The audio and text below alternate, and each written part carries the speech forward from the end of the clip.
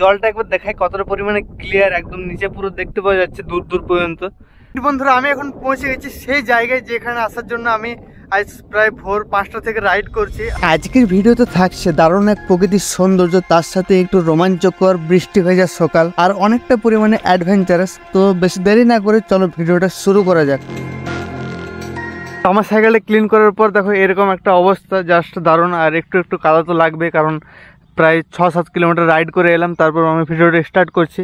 এখন আমি আসি হচ্ছে আমাদের দোমানি রোডে, এখান থেকে যাব হচ্ছে একটা দারুণ লোকেশনে কোথায় যাব সেটা তোমাদের একটু পরে জানাচ্ছি। তো বন্ধুরা, প্রথমে তোমাদের আমি জায়গাটা দেখাই। এই জায়গাটার নাম হচ্ছে দুয়াটেশ্বর শিব মন্দির, আর এই যে হচ্ছে গেট তো বন্ধুরা, আজ হবে অনেকটা পরিমাণে লং রাইড প্রায় ফর্টি কিলোমিটারের কাছাকাছি। আমি বাড়ির থেকে প্রায় চার পাঁচ কিলোমিটার চলে এলাম। আর গাইস কালকে আমি এক দুটো ভাইকে মেসেজ করেছিলাম যে যাওয়ার জন্য, তো কিছু কারণবশত মানে যাওয়া হচ্ছে না, তো সেই জন্য আমি একা একা বেরিয়ে পড়লাম। আর এই হচ্ছে আজকে মেঘের অবস্থা এই জায়গা থেকে এখন আমি বেরোচ্ছি। আশা করছি বন্ধুরা, আজকের রাইডে অনেক মজা আসবে। তোমরা পুরো ভিডিওটা শেষ পর্যন্ত দেখতে থাকো আর একটা লাইক অবশ্যই করে দিও। অল রাইট বন্ধুরা অল সেট আর এই হচ্ছে গাইস আমাদের দুয়াটেশ্বর শিব মন্দিরের গেট তো এখন আমি যাব হচ্ছে রাইট সাইডে বন্ধুরা, আমার সানগ্লাসের কালার হচ্ছে ব্ল্যাক আর আমি বারবার কিন্তু সানগ্লাসটা খুলে দেখছি যে মেঘের অবস্থা মানে আগের থেকে ঠিক না। একটু একটু করে মেঘের অবস্থা মানে মেঘটা আরও বেশি কালো হচ্ছে কিনা। তো গাইজ মেঘ কিন্তু আস্তে আস্তে করে কালো হচ্ছে জানি না আমার কপালে কী আছে দেখা যাক যা হবে সেটা তোমাদের সাথে শেয়ার করব আর এই হচ্ছে গাইজ আমাদের যে গ্রাম থেকে যেটা আছে মানে আমরা যদি রূপনারায়ণপুর বা চিত্তরঞ্জন যাই বা দেওঘর যাই তো এই লাইনটাই করে আমরা যাই ট্রেনে করে এ হচ্ছে গাইজ রেল লাইন ভাই সাহেব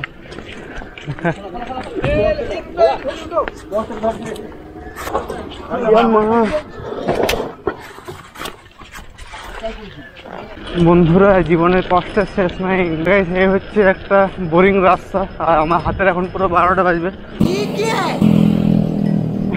ভাই, সব গাইস পুরো এরকম সুপার বাইকের মতো। পটাকা পটাকা। তো বন্ধুরা, ভোরে উঠলাম। ভোরে ওঠার পর যদি জানতাম যে এতটা পরিমাণে আজকে মেঘ করবে, তো আমি বাড়ি থেকে বেরোতামই না। সত্যি বলতে। আর গাইস এখন দেখো যত টাইম বাড়ছে, মেঘের অবস্থা কিন্তু আরও খারাপ হচ্ছে। ওদিকটা দেখো পুরো একদম কালো হয়ে আসছে। দেখা যাক কী আছে আমার কপালে বন্ধুরা, রাস্তার উপরে একবার ফুলগুলো দেখো, যার আলাদাই কিন্তু। বলতে বলতে কিন্তু বৃষ্টি স্টার্ট তখন দেখা যাক কোথাও একটু ছাওয়া জায়গায় দাঁড়াবো। আরে ভাই!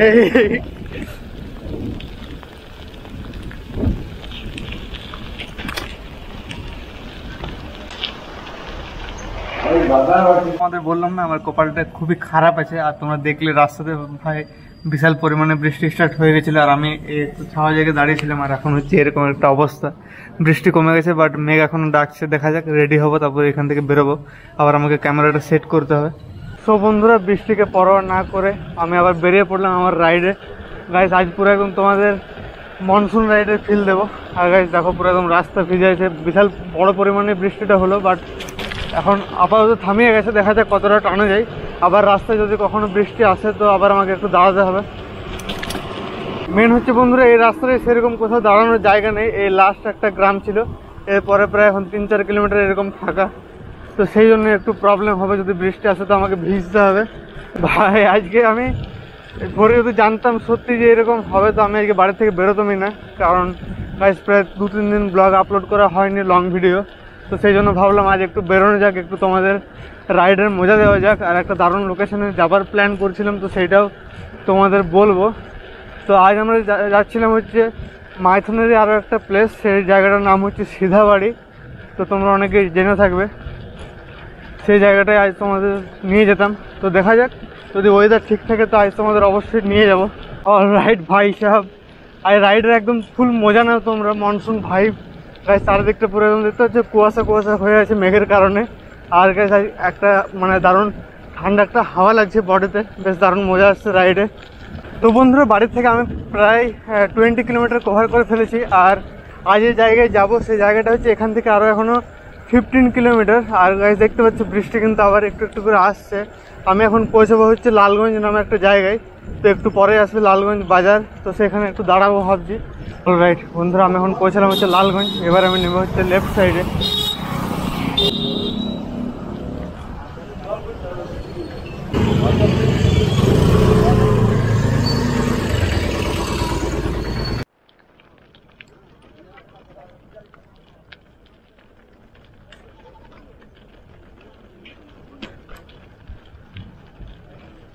এটা আমি এখন পৌঁছলাম হচ্ছে এরকম একটা লোকেশনে আর এখন হাওয়াটা দিচ্ছে হচ্ছে সামনে থেকে সেই জন্য সাইকেলিং করতে অনেকটা অসুবিধা হচ্ছে। আর গাইজ একটু একটু বৃষ্টিও পড়ছে, তোমরা হাতে দেখতে পারো। তো বন্ধুরা, দেখো শক্তিমান আসছে। আরে সাহেব। গাইজ পুরো একদম বাইক ভর্তি কয়লা, তার উপরে কিন্তু মানুষটা চেপে আছে। দেখো দেখো, সামনে দেখো।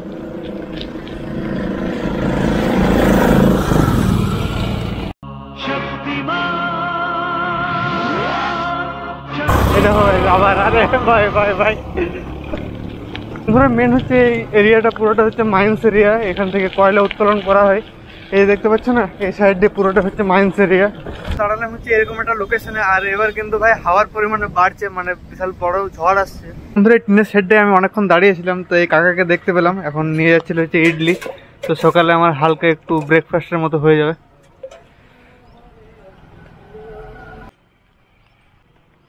আমরা এখন পৌঁছালাম হচ্ছে এই লোকেশানে এই জায়গাটার নাম হচ্ছে ডাবর মোড়।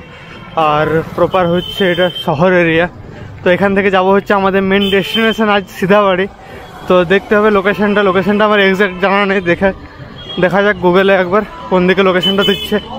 অল রাইট আজ আমি যে লোকেশানটা যাচ্ছি, সেই জায়গার ডিস্টেন্স হচ্ছে এখন এই জায়গা থেকে ফাইভ কিলোমিটার আর গাইজ আমার বাড়ির থেকে এখনও পর্যন্ত রূপনারায়ণপুর হয়ে গেল তিরিশ কিলোমিটার রাইড অলরেডি টাইমের কথা যদি তোমাদের বলি, এখন ঘড়ির কাটায় হচ্ছে সকাল আটটা। টাইম খুব একটা হয়নি বাট অনেকটাই টাইম লেগে গেল আমার আস্তে আস্তে, কারণ অনেক জায়গায় রেস্ট করে করে এলাম এই বৃষ্টির কারণে। আমরা এখন নিলাম হচ্ছে সিধাবাড়ির রোড আর গাড়ি এখন একটু মানে রোদের দেখা মিললো, কি বলব ভাই, এত মানে খুশি লাগছে না ভাই এবারে। আজ একটু রোদের দরকার ছিল, কারণ আমার তো প্ল্যান তোমরা জানোই। যখনই কোনো জলাশয় জায়গায় যাই, তখনই মন হয় একটু সাঁতার কাটি বা একটু জলে লাফ দিই। এই অভ্যাসটা আমার আছে ভাই, বরাবর। রাস্তা একটু খারাপ এদিকে।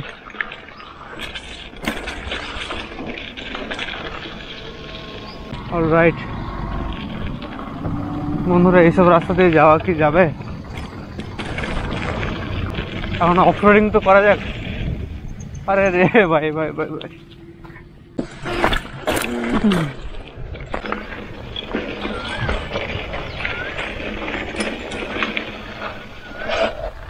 সাইকেলে পুরো কিন্তু ওয়াট লাগছে আমার।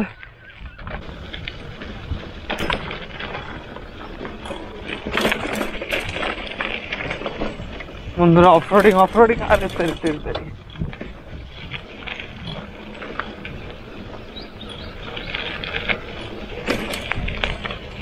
বন্ধুরা, আমরা কিন্তু পৌঁছেই গেছি, আর মাত্র কিছুটা পথ। আচ্ছা এখানে কিছু বোটও দেখতে পাচ্ছি আমরা সামনে। তো গাইজ দেখো এই জায়গাটা আরে ভাই সাহ ও হো হো গাইজ জলের কালার একদম পুরো ব্লু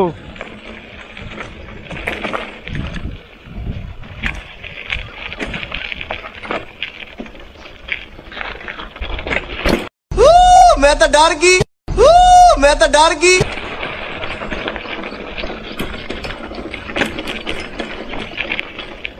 ও ভাই সাহ গাইজ ভাবিনি এই জায়গাটা এতটা পরিমাণে সুন্দর। তোমরা একবার নিজেরাই লক্ষ্য করো। ভাই সাহ গাইজ পুরো একদম অফরোডিং রাস্তা করার পর পৌঁছালাম আমরা। গাইজ এই রাস্তাটা কেউ বলতে পারছিল না। এক দুজনকে জিজ্ঞাসা করলাম। তো গাইজ আমাকে এখন খুঁজতে হবে একটা দারুণ জায়গায় যেখানে আমি একটু জলে নামতে পারব, একটু গভীর জায়গা। দেখা যাক, আমি ওই দিকটায় যাব। আমরা কিন্তু অফরোডিং করে একদম পৌঁছে গেছি কিন্তু সীতাবাড়ি পিকনিক স্পট আর এখানে দেখতে পাচ্ছি একটু অফরোডিংটা একটু বেশি। এই পাথরের মধ্যে আমি এখন সাইকেলিং করছি, দেখি জলে নামাতে পারি কিনা। ভাই সাহেব, জলের কালারটা দেখো একবার। পুরো একদম ক্লিন অ্যান্ড ক্লিয়ার গাইজ এখানে আজ কিন্তু আমি সাঁতার কাটবো, ভাই। তো চলো এখন তোমাদের এই জায়গাটাকে ভালোভাবে সিনেমাটিকের মাধ্যমে দেখাই। তো আমি এখন পৌঁছে গেছি সেই জায়গায় যেখানে আসার জন্য আমি আজ প্রায় ভোর পাঁচটা থেকে রাইড করছি। আর গাইজ এই জায়গাটা হচ্ছে মাইথনের একটা লোকেশন এগুলো হচ্ছে এক একটা মানে পিকনিক স্পট এটা হচ্ছে একটা সিধাবাড়ি পিকনিক স্পট আর একটা কিছুটা দূরে আসে হচ্ছে ওই সাইডে তো গাইজ এগুলো এক একটা হচ্ছে পিকনিক স্পট তো এই জায়গাটা তোমাদের কেমন লাগল তোমরা অবশ্যই কমেন্টে একবার জানাবে। আর দূরে দেখতে পাচ্ছ একটু একটু মানে পাহাড়ের রেঞ্জগুলো দেখতে পাওয়া যাচ্ছে মানে মাইথন থেকে যে পাহাড়গুলো দেখতে পাওয়া যায়, সেই পাহাড়গুলো। তো এতটা মানে ক্যামেরায় বোঝা যাচ্ছে না বাট আমি চোখে দেখতে পাচ্ছি ক্লিয়ার আর গাইস দেখো এই জায়গার লোকেশন একবার। ওই সাইডটা দেখো, পুরো একদম জাস্ট আলাদাই কিন্তু ভাই। মনে হচ্ছে এটা পুরো সমুদ্র একদম মানে ওই পার্টটা একদম দেখাই যাচ্ছে না বলতে গেলে। তো কিছুক্ষণ আমি এখানে চিল করব এখন, তো তোমাদের একটু সিনেমাটিকের মাধ্যমে দেখাই এই জায়গার বিউটিটা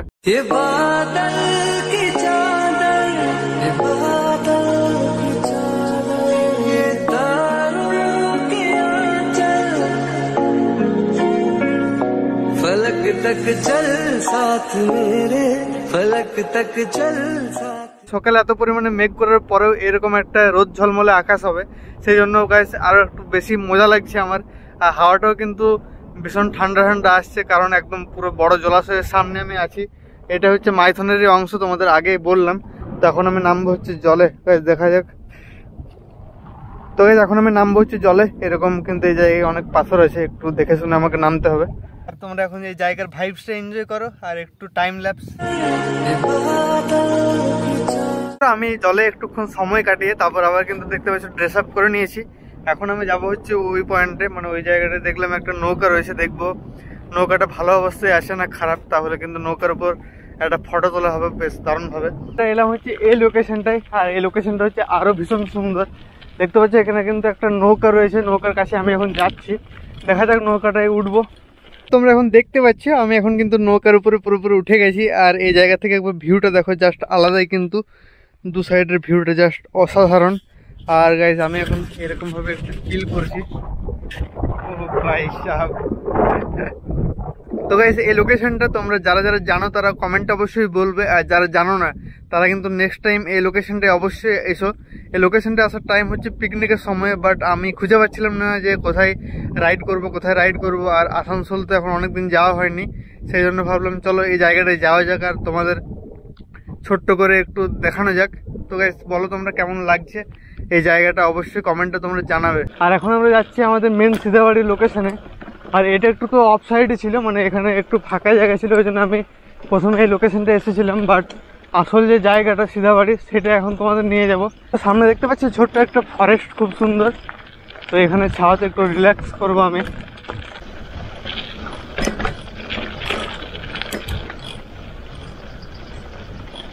এটাই হচ্ছে কিন্তু মেন সিধাবাড়ি পিকনিক স্পট এই হচ্ছে ফরেস্টের মতো। আর গাইস এই দিকটা হচ্ছে পুরোটাই তোমাদের দেখায় একবার। জলাশয় এরিয়াটা গাইস এই দিকটা কিন্তু অনেকটা বড় ফাঁকা এরিয়া এখানে তোমরা চাইলে পিকনিক করতে পারো পিকনিক সিজনে আমরা কিন্তু আবার চলে এসেছি হচ্ছে মেন রোডে আর এখান থেকে যাব হচ্ছে একটা জায়গায়। এই মালগাড়ি, তারপর ট্রেন সব ঢুকছে হচ্ছে রূপনারায়ণপুর। আর গাইস আমি এখন এই ছাওয়া জায়গাটা একটু দাঁড়ালাম। আজ তোমরা দেখলে হচ্ছে অফরোডিং থেকে শুরু করে সিধাবাড়ি বলে যে লোকেশনটা সেই জায়গার বিউটিটা কতটা পরিমাণে সুন্দর। তোমরা সব কিছু এক্সপিরিয়েন্স করলে।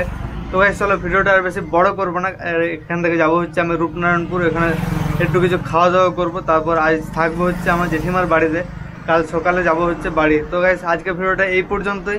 যদি ভালো লাগে makes your like comment share and subscribe for more fun and more adventure thank you so much for watching bye.